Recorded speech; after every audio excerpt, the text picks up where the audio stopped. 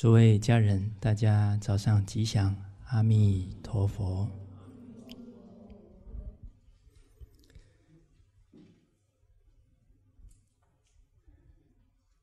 我们刚刚听了师长老人家开示，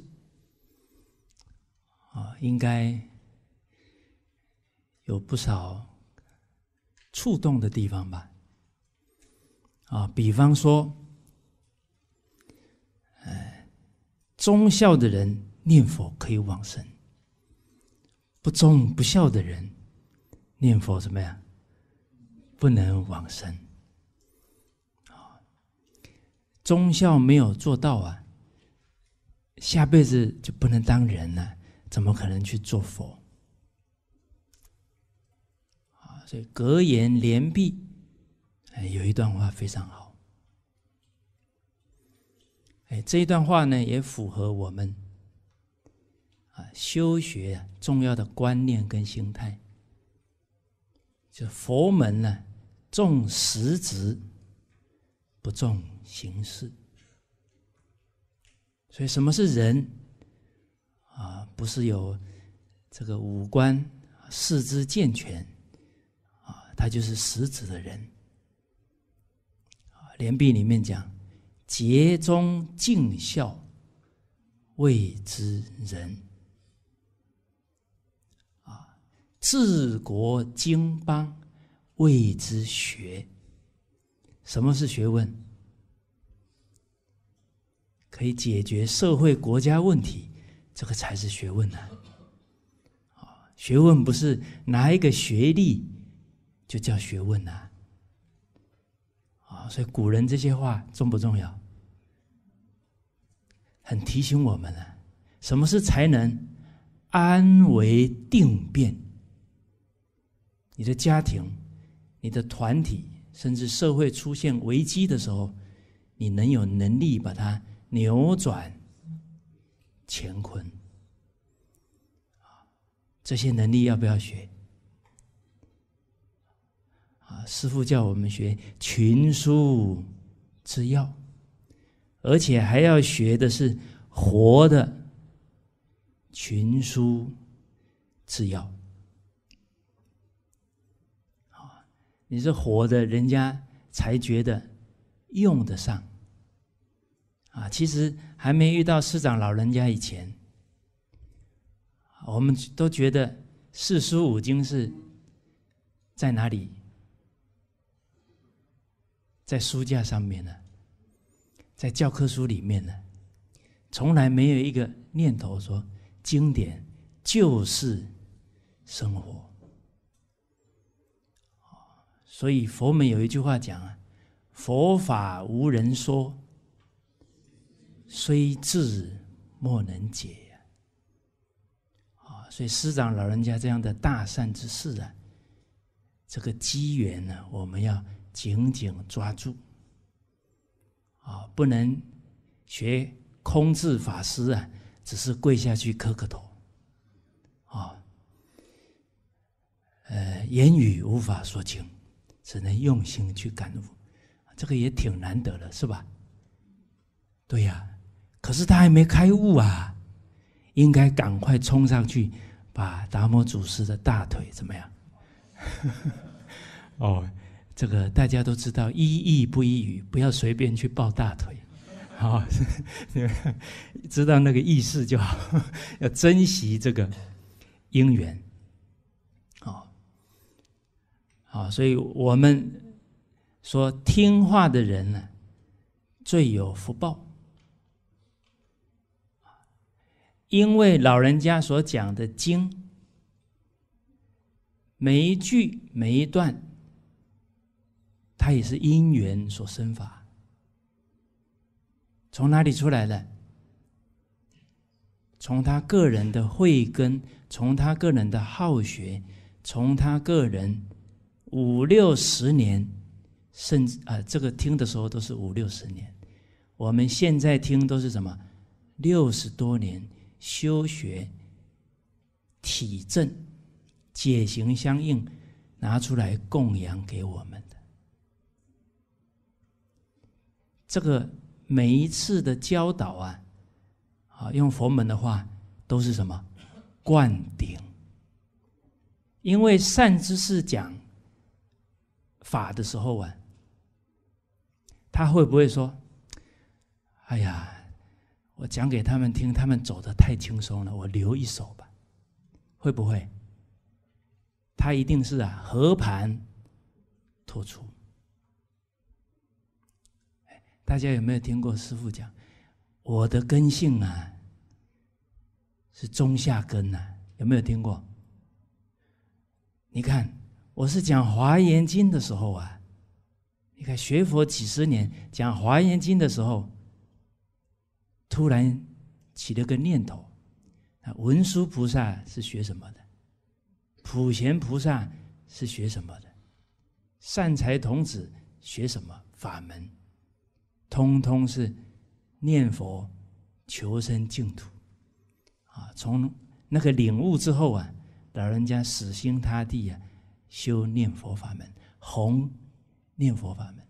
这一段话大家听过没有？听完了哈，人生变了没有？哇，这段话让我们少走多少弯路？几十年呢？所以按照逻辑来讲，肯听话的话，我们的成就绝对超过善知识吧？这个逻辑有没有错？没错吧？一定超过。但怎么很少超过？啊，再拉回来，听话的人不多。啊，所以只要听话了，就会印证我们俗话讲的“青出于蓝而胜于蓝”。那哪一个父母老师不希望他的？孩子跟学生超过他，不可能。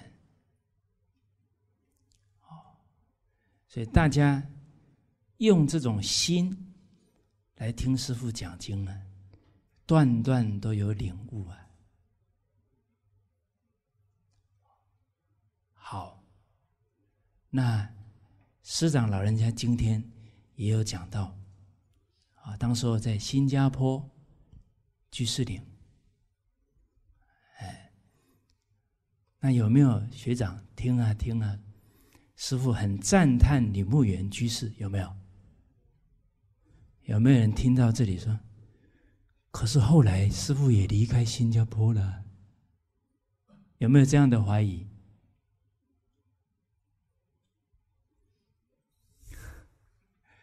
哦，哎，那这些情况会不会影响你的信心？这个都是哦，你现在觉得不会啊？等你身边有两个、三个、四个告诉你说：“我不要再学传统文化了，我好痛苦哦。”那你会不会受影响？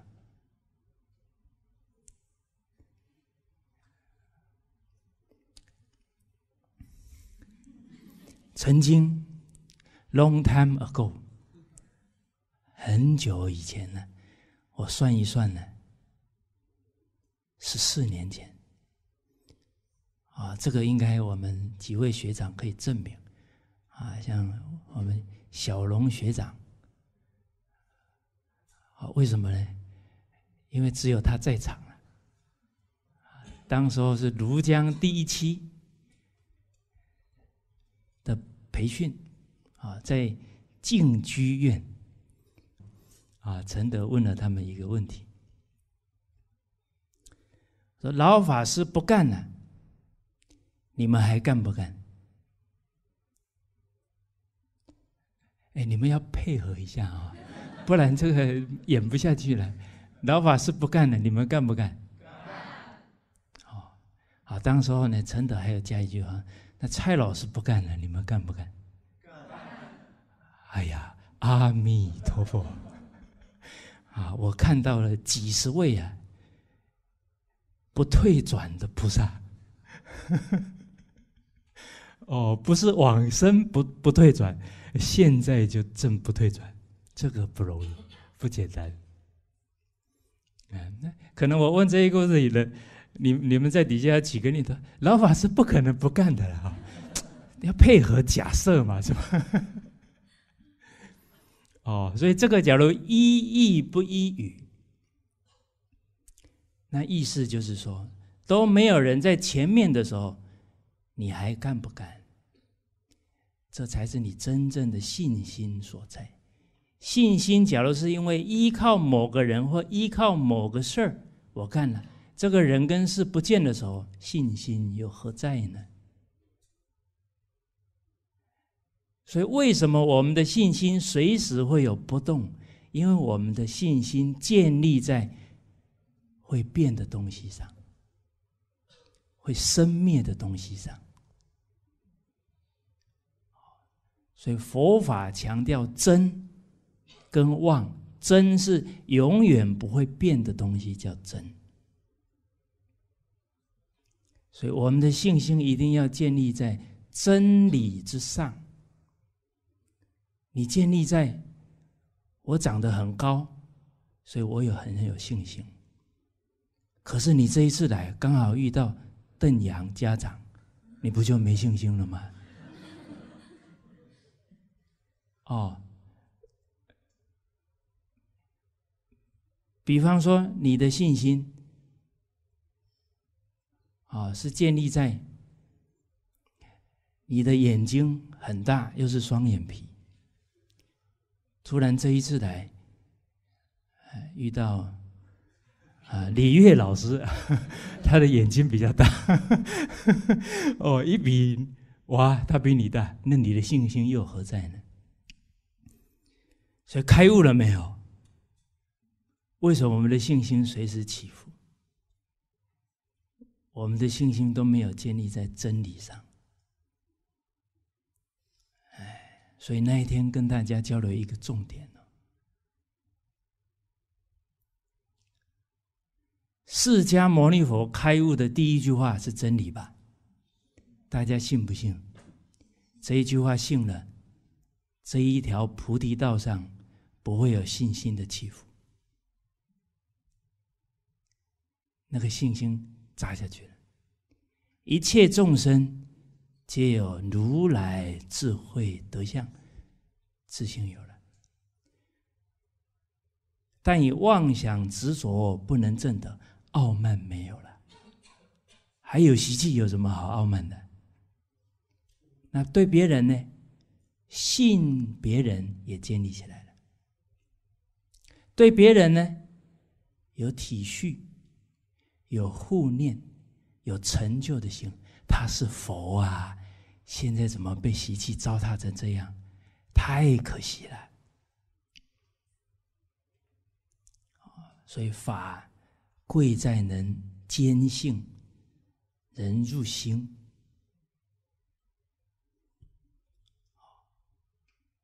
在孟子的话当中说到。待文王而后兴者，凡明也。要等待文王之后，他才肯响应、肯承担的这一般的凡明也。若夫豪杰之士啊，虽无文王犹兴。前面没有文王，前面没有老法师，他依然当仁不让，站出来。好，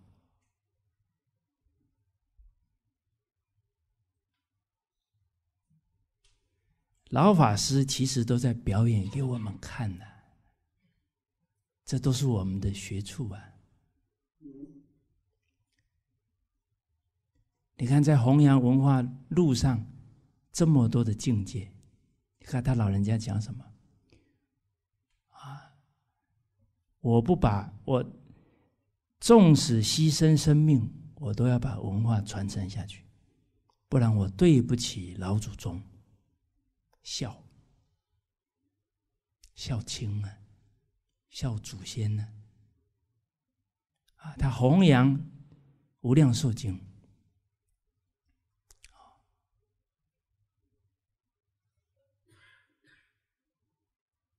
会基本遭受那么多攻击，师长老人家说：“啊，别人不弘扬，别人不学，我一定学。我假如不弘扬，我不学，我就背师叛道。啊，所以他老人家那种意志啊，那是不可能受动摇的。我们看懂了。”要效法。我们学习的次第啊，信、解、行、正。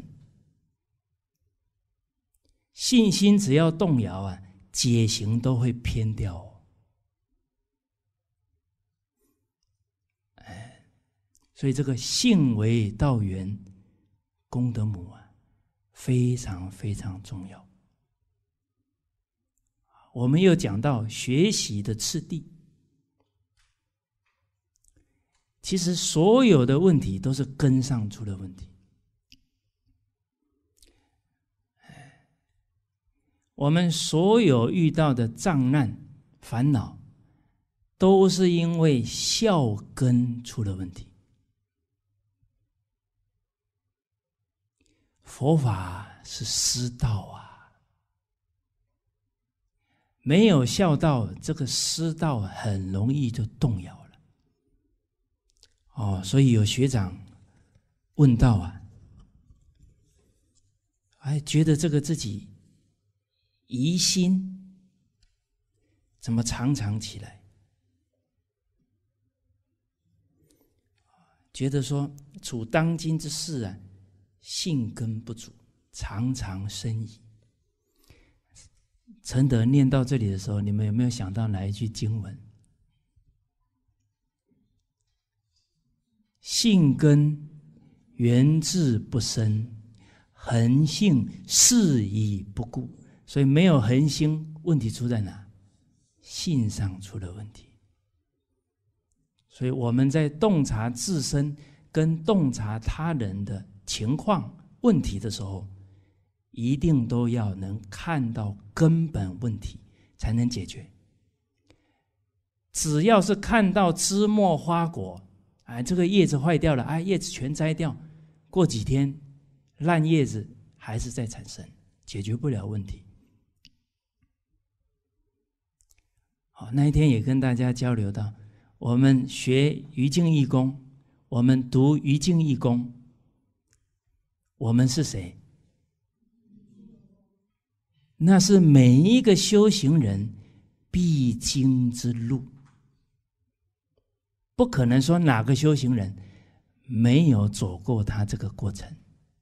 假如没有，叫还没入门。哦，我跟大家交流过夏莲老那一段话吧。修行的人需打破。自欺一关，时有商量处。啊，须卓然见得自己满身过失，功夫时有着手处。他都看不到自己问题呀，活了四十七岁了，他都没问题。哎呀，我好可怜啊！惨因天法，老天爷对我怎么这么残忍？但是他。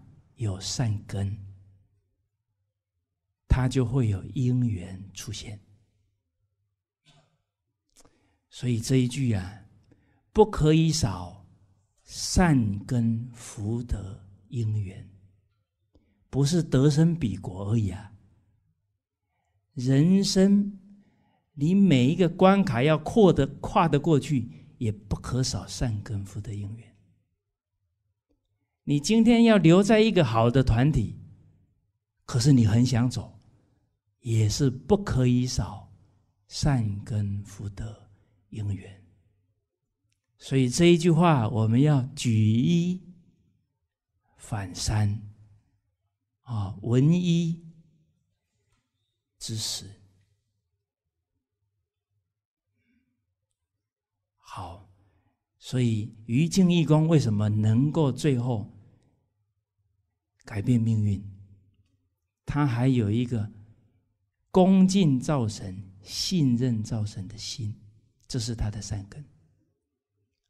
而且他也读了一些书，这个阿赖耶识也种了这些种子，啊，讲的道理一相应呢，他的善根就出来了。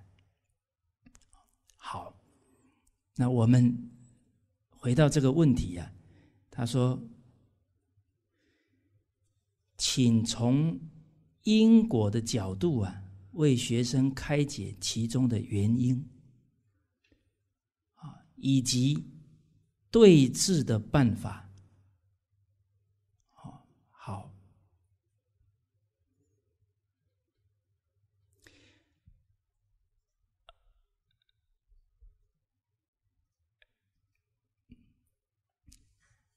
回答问题啊，其实怎么回答呢？都有几个重要的理论。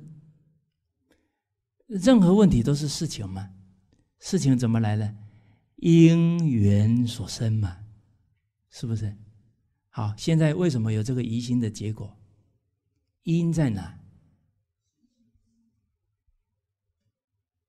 因是种子啊！哎，我怎么突然起疑心了？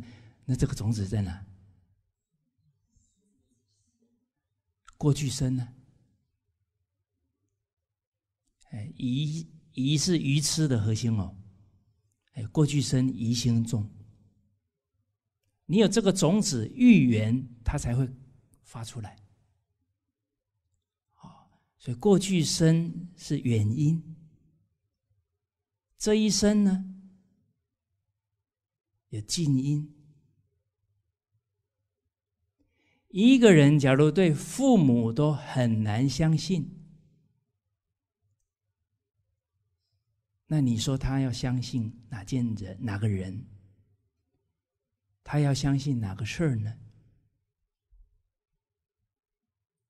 所以师道建立在孝道的基础。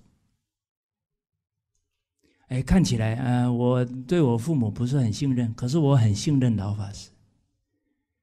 那你信任老法师，是因为你听他讲经啊，觉得每一句话都很有道理。改天你有机会。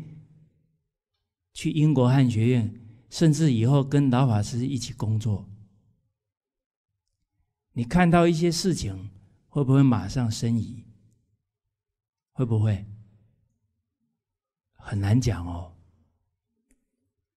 哎，老人家这个弘法立身六十年了，他身边的弟子跟护法走了多少？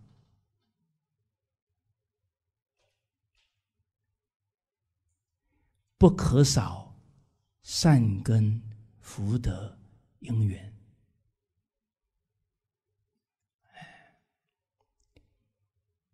好，那你今天看到人家走了，你心里会有什么思维？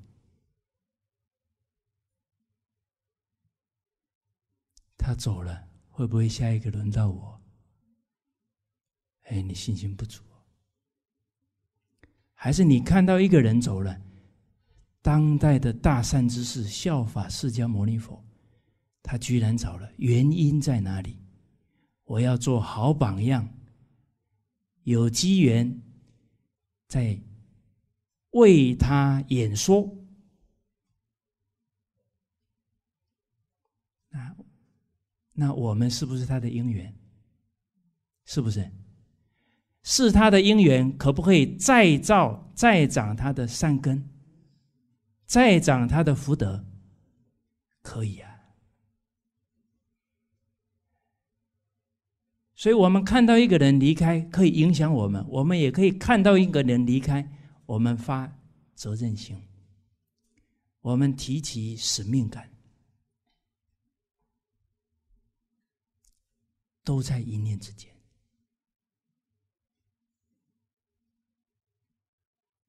佛门讲啊，佛不度无缘之人呐。哎，请问诸位学长，听到这一句话的时候，什么感受？会不会有点感伤？这句话佛说的呢？佛有没有情执？所以佛说是这句话的重点在哪？缘是条件呢，这个是非常的理智，这个是智慧啊，他洞察因缘的状况啊，不具足了，那佛陀跟他的缘不具足了，印在他的面前说：“你给我做好，我一定要讲法给你听。”那个人不就跟佛结恶缘了吗？佛陀时候有个公案呢。有一个好像是叫东城老母是吧？哦，释释迦牟尼佛要渡他，啊，然后呢，他往东边走啊，佛就现在东边给他，他一看到佛陀就赶快往另外一边走，啊，跑到另外一边，佛又现到那一边去，他又往 再一侧走，结果四面都走了，佛都现给他看。最后，他蹲下来哭，就是不看佛陀。最后不好像是派了一个弟子啊去了，还给他倒茶给他喝，请他讲法。是不是佛陀能力不够？不是嘛？他 他跟佛陀没有缘，刚好那个弟子有缘嘛，所以佛会洞察因缘。所以我们有时候听佛门的这些话，都会觉得好像有点不舒服啊。那不是佛那句话有问题啊，是什么？我们理解它掺杂了我们的什么情势在里面了。所以不度无缘之人，就是他条件没有够，不能攀缘。所以刚刚师父讲嘛，这个凡夫跟圣人跟佛菩萨只在什么一念之间啊，所以我们要转迷为悟啊，要把什么放下？把贪嗔痴放下啊，把毁誉放下。这条路上很多人会被毁誉给打倒呢。要把攀缘放下，这条路上会不会因为攀缘，最后要进进不了，要退退不得？要把嫉妒放下，在团体当中卡住了，看哪个人就是不顺眼，最后你不走，我走，这就用错地方了。哦，要用用对地方才契机哈。啊，还要把嗜好放下，嗜欲欲望，其实人会退心啊，都是心里有个希望怎么样，最后不是他想象的，他就很难过。所以那一天跟大家有交流一个心境嘛，你跟这个人，你跟这个团体有缘，君子义以为之。这个人缺什么？这个团体缺什么？我有缘就是我的责任，我不是要要来索取任何东西的。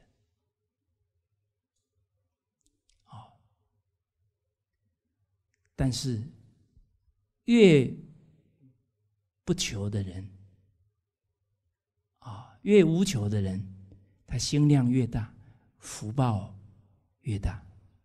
爱人者，人恒爱之；敬人者，人恒敬之。相信他的医，他的医报啊，铁定会越来越殊胜。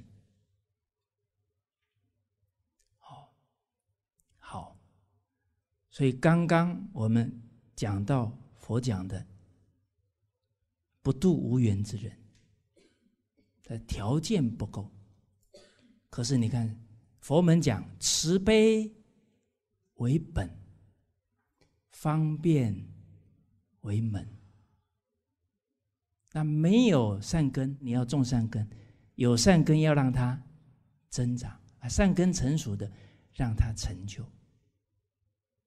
所以缘是条件呢。我为什么师父一直讲要为人演说？那我们看到很多人在这一条路上退心了。我们昨天引了师父讲的话，这个传统文化为什么不能在大陆弘扬开来？因为什么？示范点太少了，榜样太少，所以看到他人离开，更期许我们。榜样要赶快做出来，团体是一个榜样啊，个人是不是榜样？是啊，哦，所以昨天有跟大家交流到啊，白方礼老先生，他的条件种种都不如我们。可是他却唤醒了中华民族对下一代教育的责任，有没有？那个是这个个案是提醒我们了，什么时候在弘扬文化？当下尽本分的时候，当下我们真心献钱的时候，就是了。我们往往会觉得，我什么时候弘扬文化？等我上了汉学院，哦，然后把博士拿到了，我再来弘扬文化，这样也没错。但是呢，怕也没对，啊，这通通都盯在那个目标上面去了，反而把过程给忽略掉了，啊，甚至于产生分别了。我是要来拿博士的，干嘛叫我叠棉被呢？啊，干嘛叫我做这个这么琐碎的事情呢？哦，所以有一个公案，就是一屋不扫，何以扫天下？这个不是提醒我们哦，而且我们不去解行相应，不去落实啊，我们走的一定是知识这一条路。啊，师傅老人家说，我们是走哪一条路？走戒定慧呀，走开悟的路。啊，这个路走错了，不止不能弘扬文化，还会以身谤法了。啊，那一天有举藕叶大师的话跟大家共勉。啊，藕叶大师说，学问。越多，我慢越次，啊，烦恼越长，啊，习气越长，离道越远，啊，唯义多闻，啊，我们的学习的惯性都觉得啊，多学一点知识，唯义多闻，增长我见，可惧矣。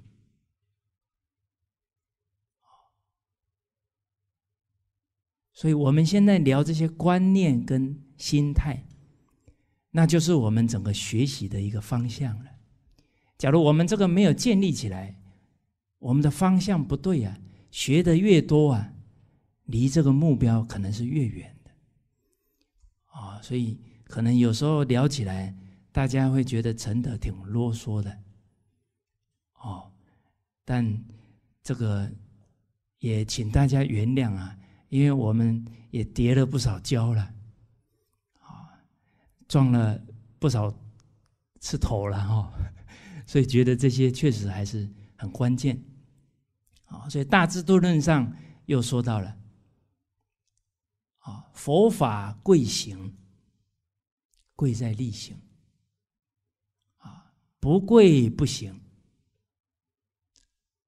啊所以，但能勤行、勤劳的去实践、去落实；但能勤行啊，众寡闻，易先入道。纵使你学的少，还是很快可以入道。哎，好了，我们就不说别的，我们扎根班的班风是什么？好，下一句不用了啊，我们一句就好了啊。好，那我们念念为他人着想这一句，从这一刻开始，道也者不可须臾离也，时时提醒自己落实这一句。请问这个人？多久以后会入道？我跟大家打包票，三年他的境界绝对不一样。但是要真干才行。哦，好，所以佛门是贵行哦，博学审问慎思明辨笃行，但笃行的重量啊，还超过前面哦。所以师长老人家说，《弟子规》跟《四库全书》摆在。天平上怎么样？一样重，因为《弟子规》是行经，没有这个行经啊，你纵使懂四库全书的道理，对自己跟对他人很难产生受用。好，啊，所以我们刚刚讲到，你连父母都不信任，你要信任老师。不容易。有一位新加坡的同修，啊，陈德认识他呢是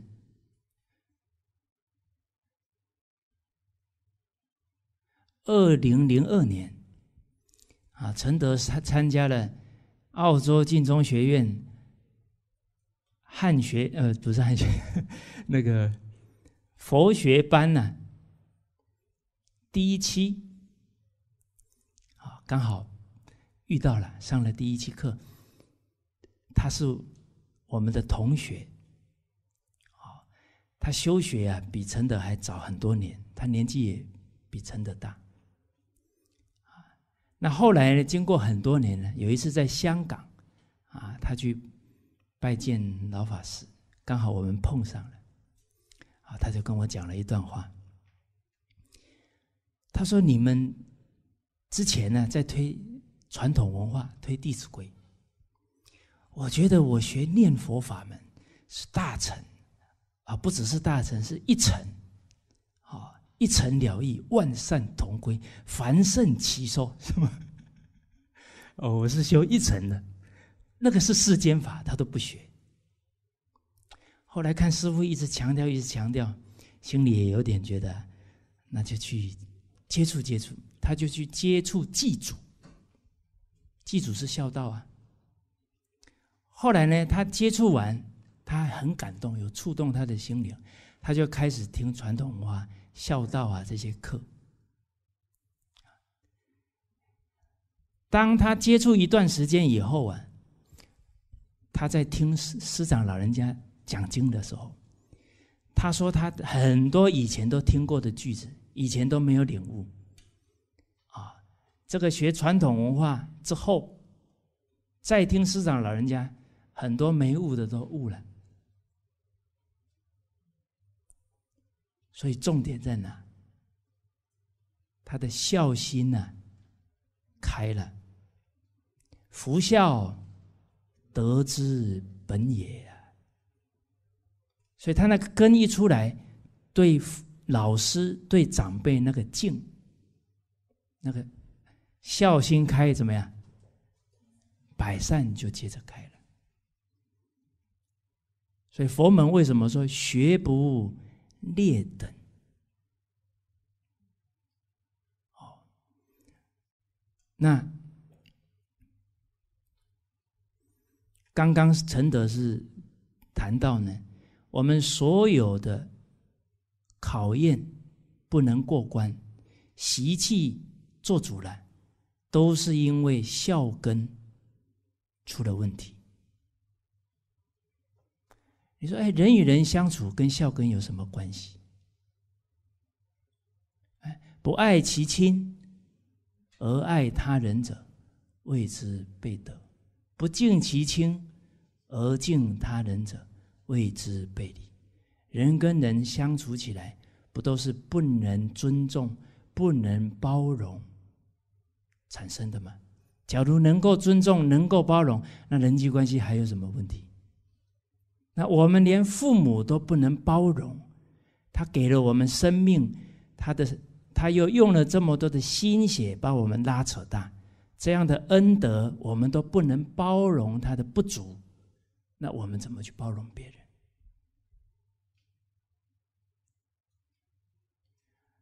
所以佛门讲啊，不能着相啊。修行的障碍，常常都是啊，见人家过。六祖大师提醒我们：若真修道人，不见世间过。可是这个不容易做到啊，很容易就见人家这里不好，那里不好。我们的整个精神都向外着在人家的过失。啊，我们说。学习重要的心态，其中有一一点，佛法是什么？内学。我们那个惯性啊，哇，拉不回来了，就向外去了。所以要求啊、苛刻啊，不都是从不能包容父母的不足过失？事实上。换另外一个角度，不要从对错的角度讲，哪怕父母做的不对，是因为他不懂传统文化这些道理呀。所以《无量寿经》说：“先人不善，不是道德；无有余者，殊无怪也。”这句话我们听过吧？哎，那这句话。我们能领纳在心上了，那个宽恕、包容的心就能提起来了。他没学过啊，他已经用他觉得最好的方法给孩子了。所以那一天曼玉在分享。啊，他的母亲，啊，那些方式不对呀。可是我们的角度是用对错在批评母亲的时候说不对呀。可是你换做母亲的角度，他是用他所了解最好的方法，哪怕他是错的，他已经是最好的方法了。啊，所以要见性不能着相啊。要见父母那一颗，完全要成就我们的心，哪怕他是错的。假如我们能体会这个心呢，那父母所有的过失就瞬间就消融掉了。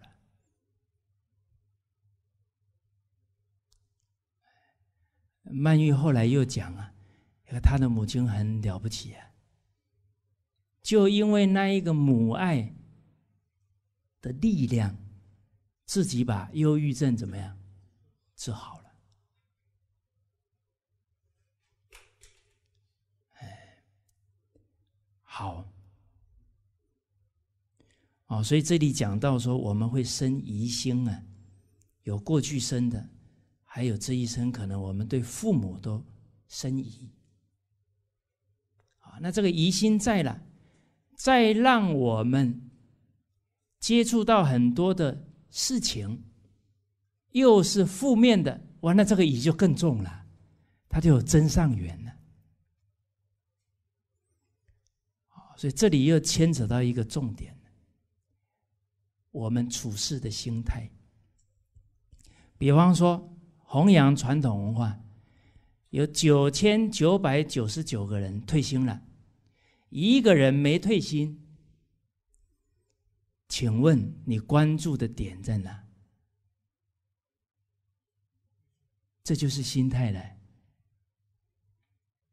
积极的人马上去搞清楚这个人是怎么成就的，他不会去关注，啊，不会去受影响了。这九千九百九十九个是怎么退的？他去关注这个退是他要帮助别人怎么再振兴起来。可是他要关注另一个重点是怎么样不退，怎么样成功。这个就牵扯到我们的性格当中，是积极面对问题，还是消极面对问题？所以修行从哪里下手？改性格下手，改习气下手。他没有从这里下手的时候，他接触的时间再久，他不可能有法喜。那我们走这条路，又不是。名在给我们动力，也不是利在给我们动力啊，是我们的愿力跟我们的法喜给我们动力啊。只要那他的学都没有法喜了，那你说他怎么可能不停下来呢？哦，好，所以我们修学呀，首先要自知啊。哦，然后要自助啊，要自救啊！啊，夏莲居老居士说：“自助者天助啊，自救者天救啊，自弃者天弃呀。”这个天是什么？是外在的条件。跟我们的心呢，它是相感应的。一个奋发向上的人，他的性格他就赶来助缘；一个消极的人，他赶来的就是祸不单行啊！这是感召啊！所以，我们今天这个消极的性格不转过来，父母在爱我们。善知识在护持我们，帮不上忙啊！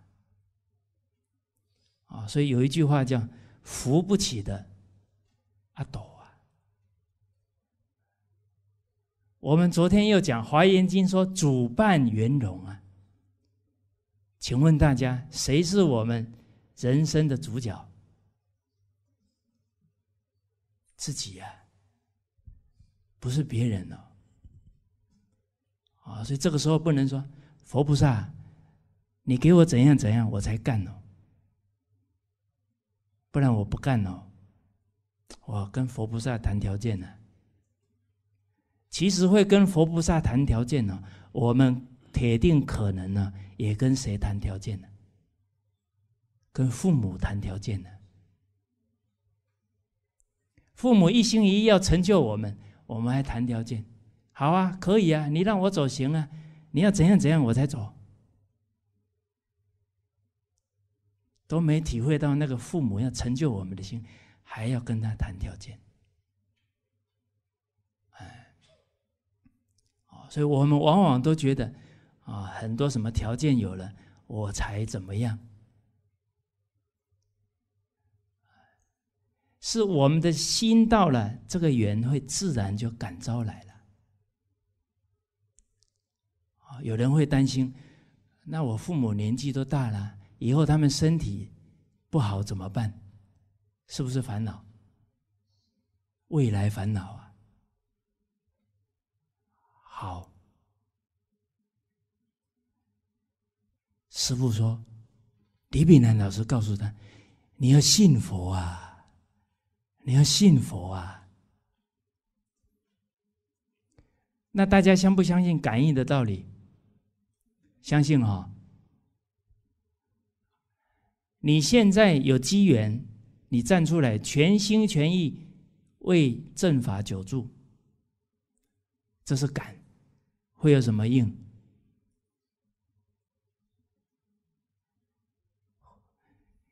啊，不然我们都拜那三十一拜，一心观理尽虚空遍法界常住三宝，十方护法菩萨。金刚、梵天、龙神、圣贤等众，你看你这一念赶多少护法神来？你全心全意护持正法久住，又是这么难的时候，难道护法神不会到你们家去？不会站在你爸爸妈妈旁边，会不会？我不要再强迫你们接受了。对呀，当然了。假如真的父母身体不好了，怎么办？那还有其他念头吧？赶紧回去照顾了吗？哦，那你说那护法神不灵了？哦，你看又又疑心又来了，又着相了。说不定你们家所有亲戚念佛的缘出现了，你咋这么着相啊？幸福啊！佛菩萨安排，别乱操心。好，好，哦，所以再杀拉回来了。那我们怎么对治这个疑心呢？刚刚讲了嘛，信心建立在哪？真理之上嘛。好，当然这个信心也会随着。你解行去力行了，慢慢哎，自己印证了一些事情了，你的信心当然也会随着信解行正，正又帮助你信，你越信，你要越解的更深，行得越彻底，这个是一个整体融在一起的。好，好，所以师长老人家。您假如用心去看他老人家讲的经啊，那个活的《礼记》学记就在讲经当中。可是你看不懂啊，那就连不上。你看“静于未发，之谓预预防法”，老人家讲经都要打预防针呢。好，比方说，老法师说，你去。劝人家念佛，人家都不接受，正常啊。我们我们去劝人家念佛，人家不接受，气馁呀。师傅说正常啊，为什么？他接受了还得了？他就要去做佛了，是吧？那不就把不可少善根福的因缘告诉你了吗？但劝当然还是要劝的。为什么？你劝一次他，金刚种子就种一个了嘛？那你看，师长老人家也借刘素云老师问呢，哎，这个年轻人啊，这一批年轻人，他们走这一条路的难度，跟你老人家比怎么样？难度百倍都不止啊！预防针打好了没有？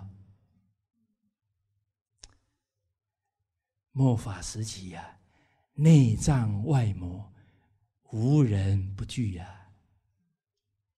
但夏老已经给我们一个定心丸，只要将猛，不怕贼强。哦，当然这个将啊，也要慢慢这个历经沙场，是吧？越战越勇，他的能力才会练出来了。哦。所以这个时候要记住师长老人家强调的，他老人家说：“我学佛法没有一天离开经教啊。”这句话重不重要？你读经听经充电呐，你三日不读书啊，烦恼就来了，脸色就很难看了。可是问题是我们一忙起来啊，可能经没读啊，经也没听了，啊，慢慢慢慢这个烦恼做主，自己又没有发现，哦，就可能就扶不住了，所以听话呢，少走很多弯路啊。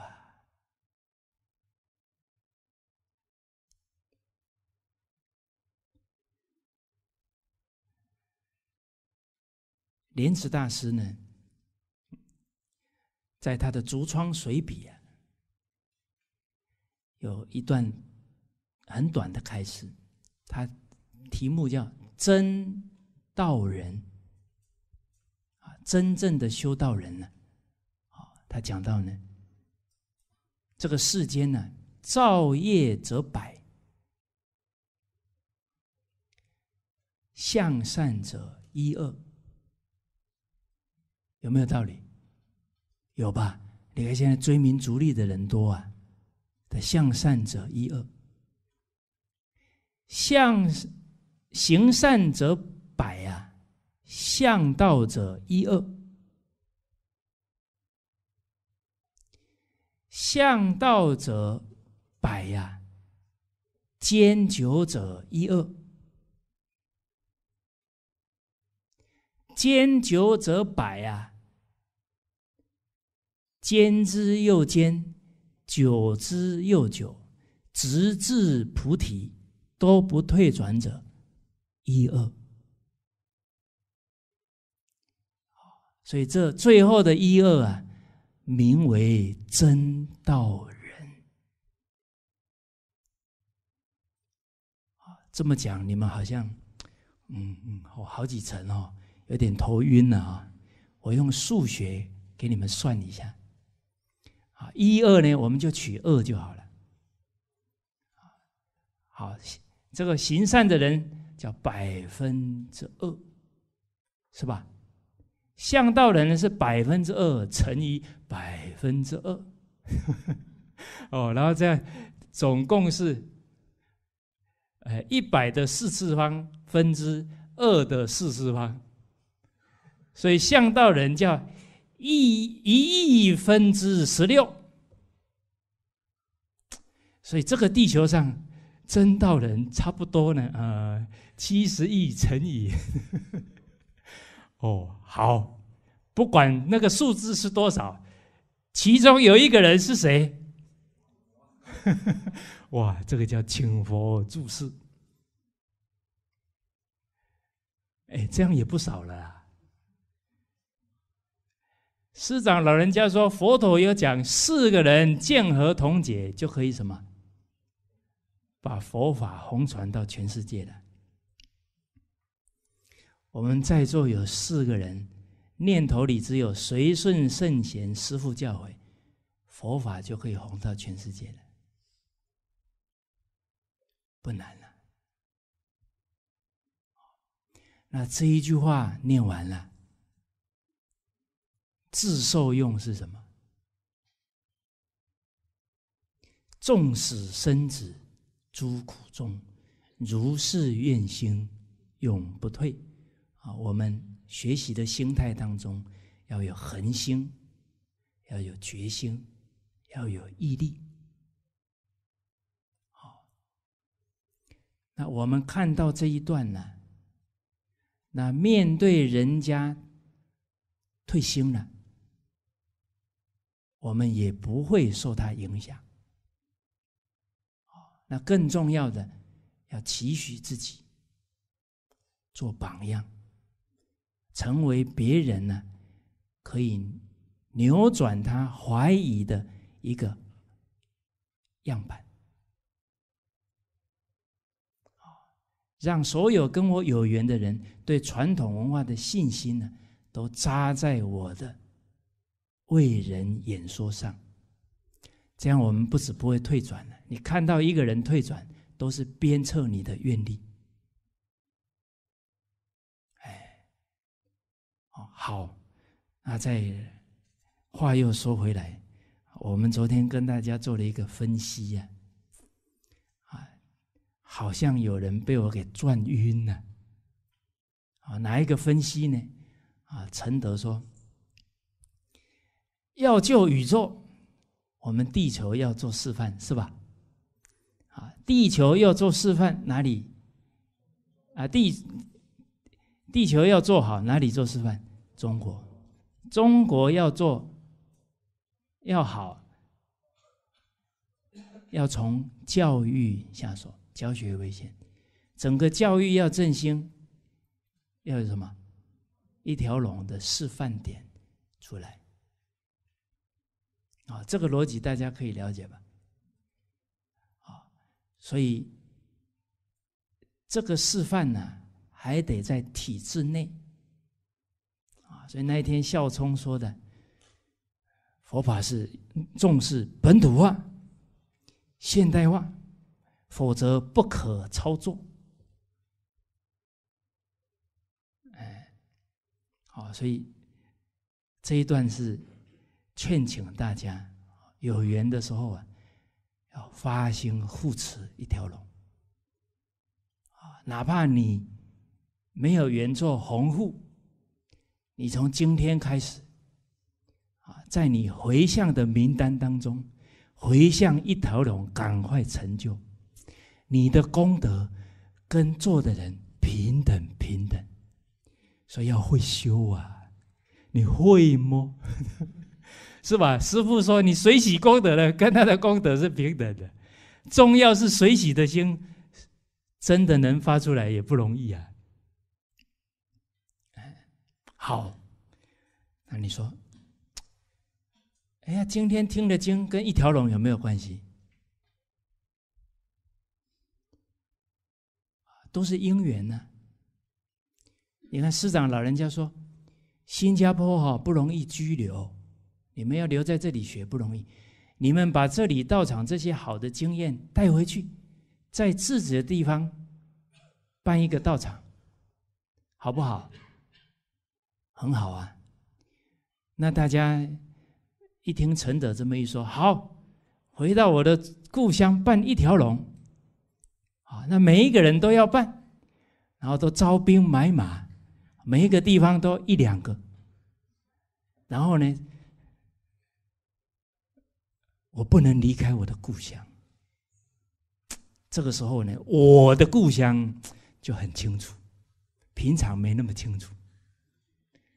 看师长老人家提醒我们要放下什么比我的念头。刚刚有没有这一句？有吧？我没搞错吧？比我要放下来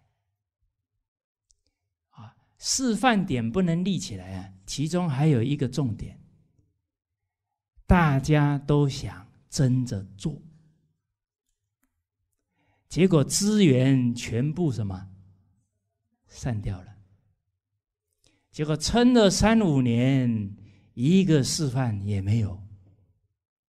最后还搞得社会大众说：“你们讲的都做不到，谁得利了？”所以放下执着啊，才能自受用，跟什么他受用啊。所以哪里的缘成熟？就先做那里，等他做起来了，哇，经验出来了。第二，零到一最难呐，一到一百，very easy，是吧？零到一最难，那个摸索不容易。经验出来了，人才出来了。你是河南的，你是内蒙的。你是陕西的啊，来了三年稳住了，一个团体一稳住，他就能出人才啊！年轻人心血进去了，马上就开始成长了啊！人成长起来，人手够了，你回陕西去办一条龙，你回内蒙去办一条龙，是吧？这个也是做事的重要的原理呀，要从点到线到面循序发展呢。人假如不放下这个比我的执着，哇，最后搞了半天，力量都分散，资源也分散，成不了事情。啊，所以师长说：“你们都回去办呢。”这个话也要会听哦，不然老法师叫我办的，结果一办之后，啥事都烦的白白头发都出来了，痛苦的不得了，然后去说师傅，你叫我办的，我我叫大家发心，那你发心也要考虑度德量力、审视责任，看条件够不够嘛？好。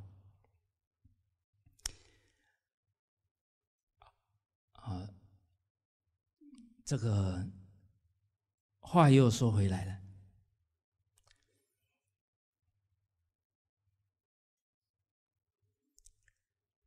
昨天呢，大家跟大跟学长们分享白方礼老先生，然后这个黑板呢，又写着“度德薄而位尊”，啊，自小而谋大，力小而任重，险不及也。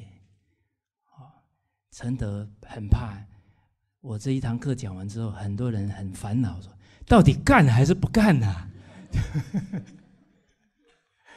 哎，所以昨天我才跟大家说，我昨天有说什么吗？哦，不过还是得再再说两句。所以为什么说要依义不依语？你不能着在这个言说相上面，你要领会它的义理，你就会用了。好，我们说。要勇于站出来承担，它是对峙什么？对峙你退缩的心嘛？退是你自私自利，对峙你自私自利的心嘛？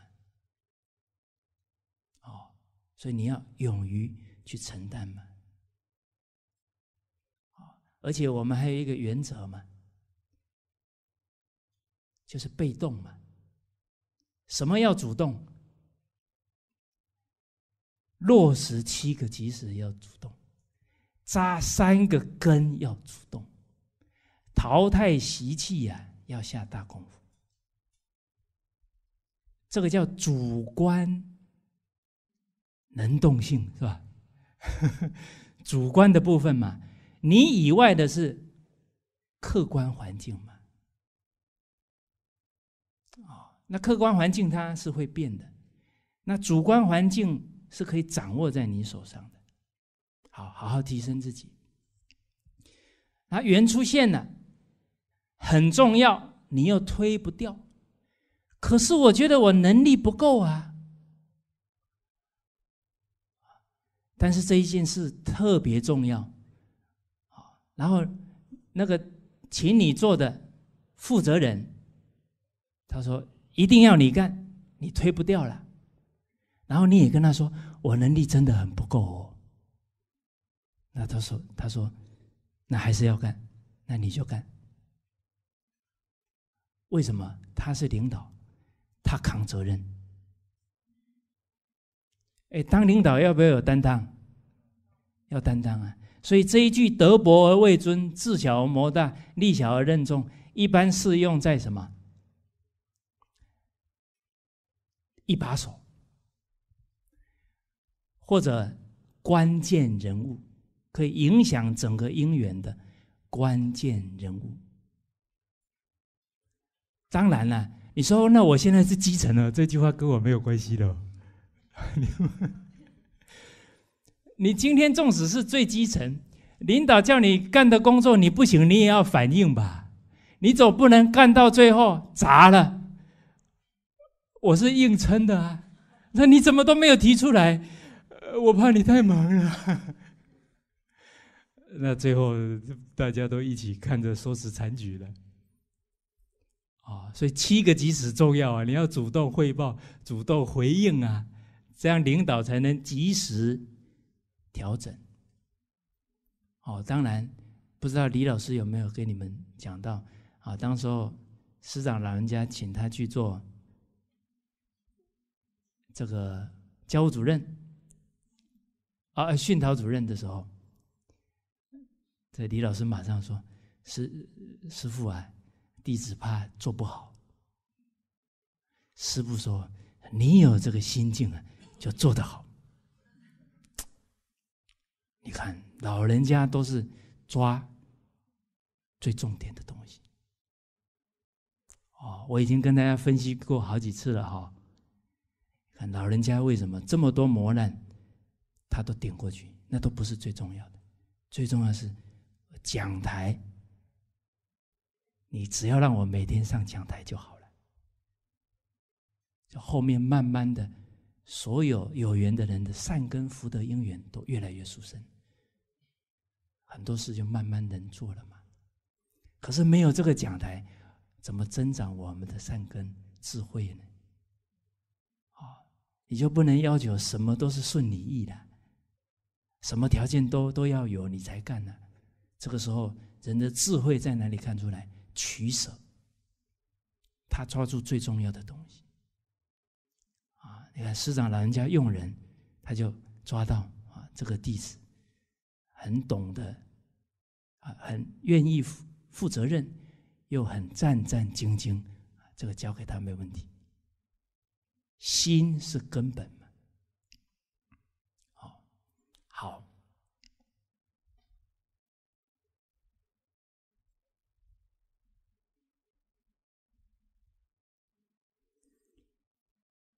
好，那当然跟大家在交流到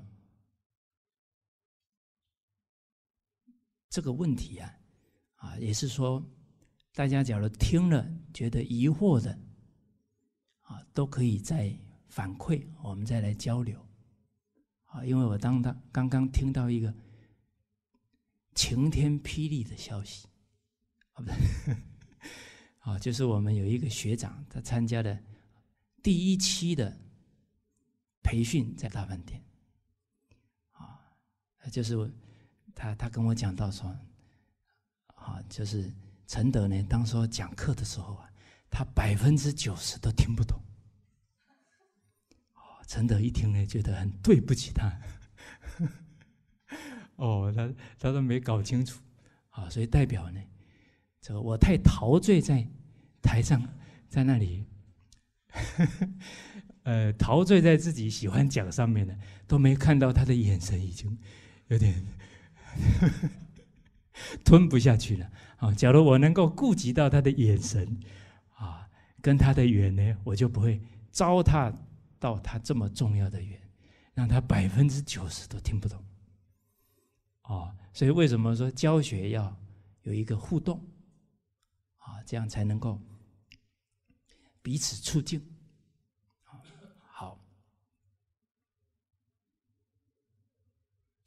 最后呢，再讲一个故事啊。我觉得呢，这个故事也会给我们一个定心丸。啊，佛陀啊，当时候苦行六年，最后呢昏倒，身体受不了了。谁救了佛陀？牧羊女。那个供养殊不殊胜？殊胜哦！佛陀接受的最后一餐的供养是谁？哦，名字不是很记得了啊。最后供养佛陀，结果因为他供养的东西里面有毒蘑菇。结果佛陀就病了，最后就入涅盘。我为什么讲这个故事？大家知道吗？我们都很怕。那我这一条路上不求有功，但求无过啊。那我假如做错了，那我罪业可重啦。很多情况都被自己给吓退了。最重要的是，我这一颗心时时都是念着正法久住，念着众生，这个心不要变就好。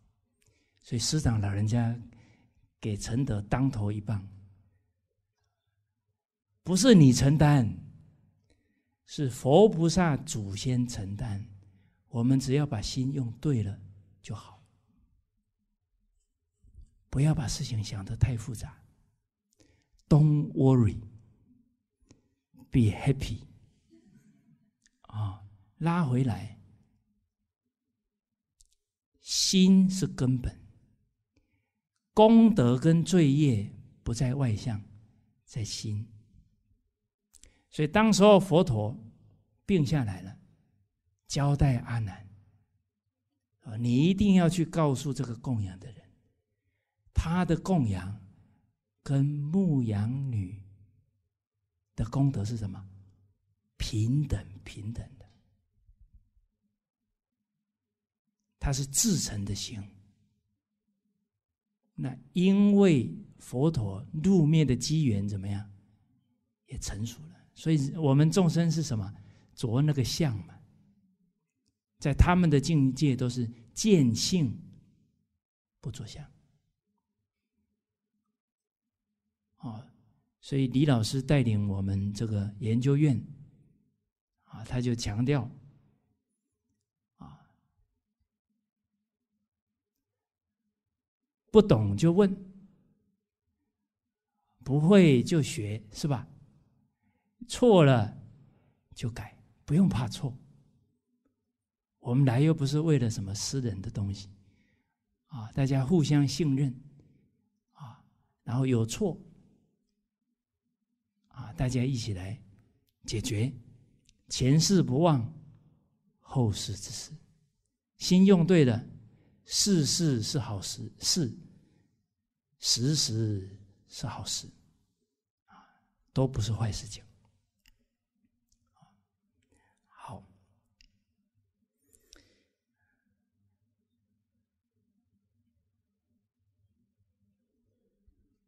还有昨天讲到的一个故事啊，没讲完，啊，欠大家半个故事，啊，因为欠了还要还，我不想再。搞轮回了，得要这个欠的赶快要还回去啊！昨天讲到百批猿猴效应，哦，那个不是第一第一只猴子去洗了吃了挺好，后来很多人就跟着吃了嘛，啊，结果很有意思啊！这个岛上的猴子懂得这么吃的。其他很多海上的岛，呃，岛上的猴子啊，他们本来也都没有洗地瓜的，都是直接咬的。结果第一个岛上这么洗了以后啊，很奇怪的，其他的岛啊，也都突然开始洗了，开始吃了。啊，这些猴子之间呢，没有微信，啊，也没有。也没有 Skype，那请问大家，他为什么起了连锁反应？因为一念骗虚空法界，所以大家起了一念善念，是供养整个虚空法界；起了一个恶念，污染整个虚空法界。哎。哦，所以这一念的力量啊，那可是不小啊。好，啊，所以拉回来说，什么时候在弘扬文化？当下的心用对了，当下的一言一行对了，谁看到了，谁就种了善根，就得了利益了。啊，所以陈德曾经。在课程当中有分享，有一个六岁的孩子，他在坐公车的时候，啊，突然看到一个老奶奶上来了，小朋友马上从椅子上面下来，老奶奶，请请坐。他六岁啊，这一句话一出来，所有的车上的人都听到了，哎，然后呢，从那一刻开始啊。只要有老人上来了，一定有人马上站起来让座。好，所以请问六岁的孩子可不可以弘扬中华文化？可以嘛？他依教奉行就弘扬了嘛？所以不是等英国汉学院毕业了才能弘扬文化。啊，其实，好，我们这个现在。很多人就在积累功德了，啊，我们就听到啊，有学长反映说：“哦，我是坐在某某学长后面，他听课都笔直笔直的，一动不动，我想打瞌睡都不敢。”他的一个行为就已经在增长别人的善根了，啊，所以我们昨天讲《华严经》，各个第一。什么时候我落实经教了，那我就在那个因缘是第一了，就在广修供养了。所以什么时候可以修第一的功德？在教室行不行？在寝室行不行？啊，在做早操的时候行不行？可以呀。好，啊，所以我们所懂的每一个道理啊，应该当下都能够落实。只要我们放下分别执着，啊，我要怎样怎样以后我才能够那样那样，这些念头都是什么？分别执着，哦。所以陈德跟大家共勉说：“我们上了这个课啊，我们要带走两个重要的法宝。第一个是什么法宝？深信因果。啊，深信因果的人，从此刻开始。”不会埋怨的。欲知前世因，今生受者是。不会消极了。为什么？欲知来世果，今生做这事。第二个法宝是什么？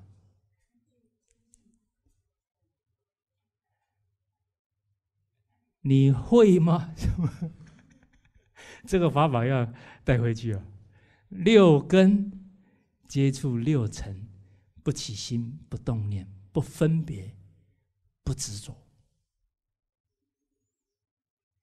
其实我们互相交流那么多啊，不都是把我们的分别执着看清了啊？这样不对，这样是烦恼，放下。不都是在看破我们的分别执着在哪？然后进而把它放下，啊，放下了，本有的明德，慢慢慢慢就显出来了。好，好，那我们在回到啊，这个学习的观念跟心态呢？第一呢，我们已经探讨过了啊，随顺圣贤佛菩萨教诲。啊，不随顺自己呀，烦恼习气。那大家呢，对这个教诲啊，可以常常想着，佛陀正悟第一句话是什么？因为那个是最重要的。佛陀入灭的时候，最后的交代又是什么？那也是最重要的。佛陀要入灭以前。弟子很紧张啊！您走了之后，我们依谁为师啊？佛说：以戒为师，以苦为师。所以这一条路啊，不能享福报。有福报让大众享，自己不能享。啊，自己生活啊简约最好。啊简约，首先从啊，不要买那个贵的手机开始。再来，你们这几天离开魔王了，感觉怎么样？挺好啊。你看，你们有没有听过师傅说，手机几年前我就丢掉了。啊，因为我不看电视，不看报纸。他可以演呢，我可以不看呢。这个都是重要的法哎。好，大家一听完，啊，回到单位，领导，手机给你了，我不用了啦。哇，你为什么不用了？蔡老师说的啦，啊，不是，哦，你们假如把我讲的话用错了哦。很多人会恨我的，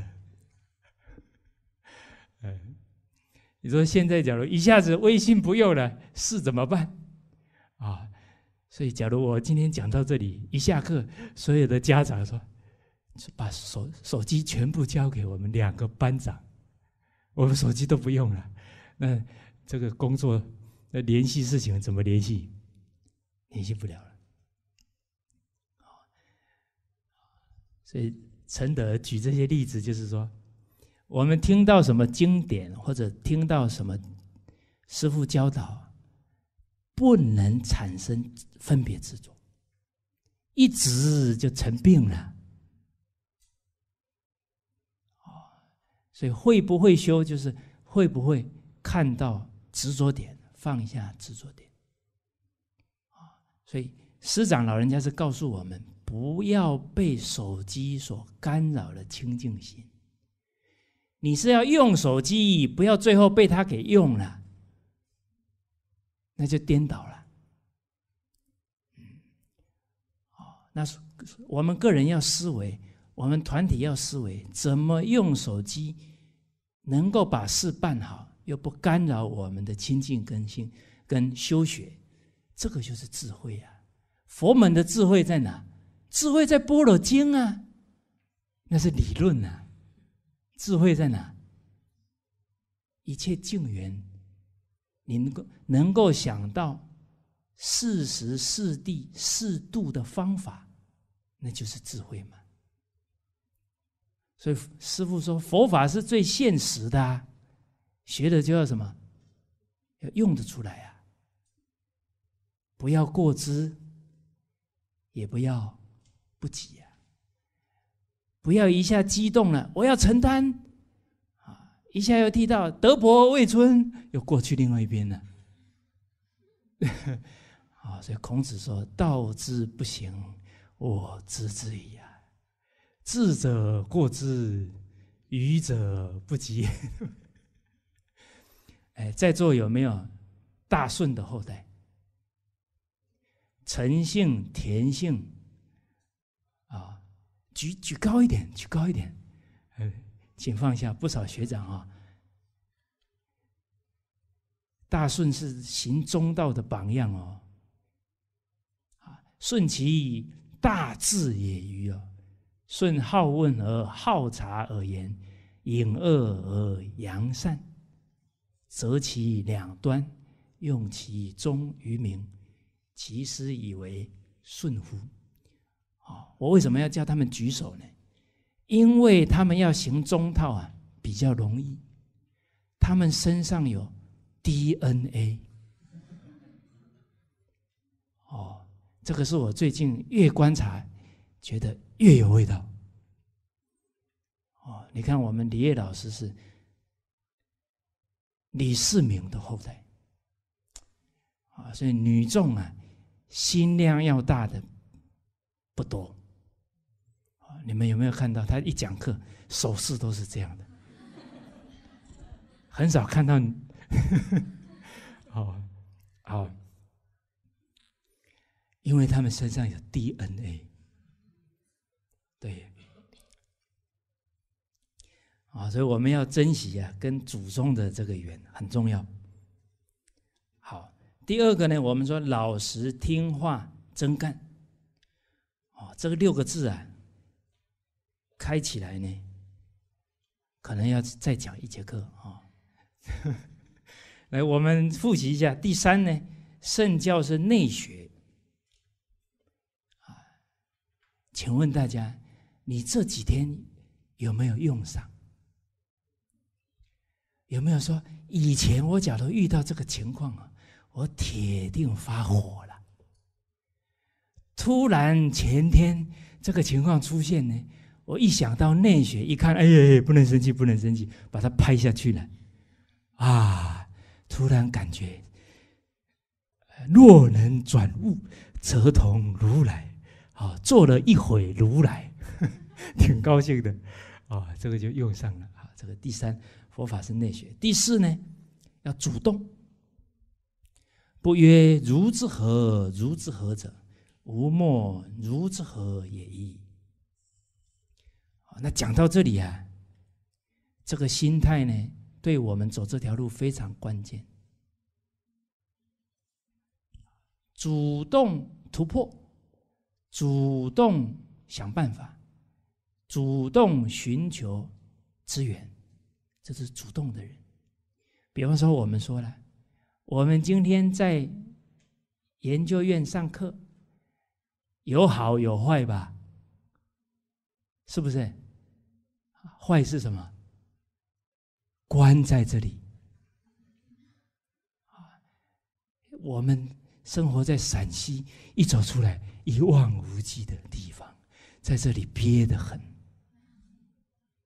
哎，有好有不好啊，那不可能什么都是条件都具足嘛。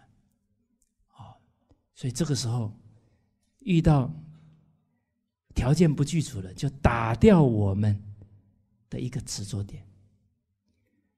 哎，不然呢？人的烦恼都在比较当中，马上就升起来。比方说，你以前的主管啊，挺温和的，你跟了他干了两年，突然调了一个位置，遇到一个比较脾气稍微大一点的主管，你生不生烦恼？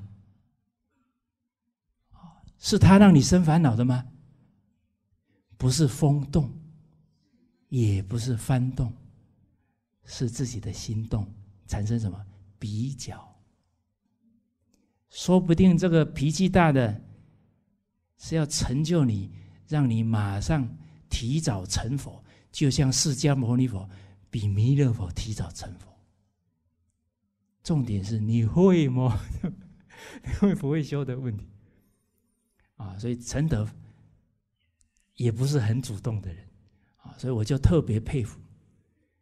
我们有学长，啊，第一节课下课，他们就去爬行。他们在有限的空空间当中充分运动，哦，还有人跳绳，跳的可好。哎，他们的人格特质里面都有什么？解决问题的、主动解决问题的特质。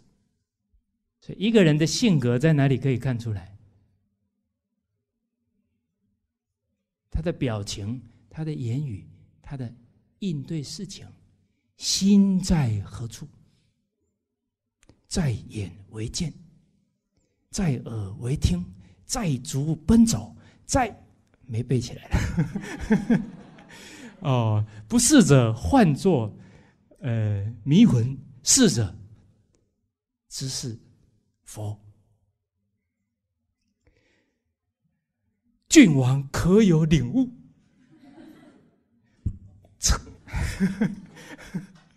啊！你要干什么？郡王若无领悟，啊，哎，哎，哎，平生愿死在郡王刀下。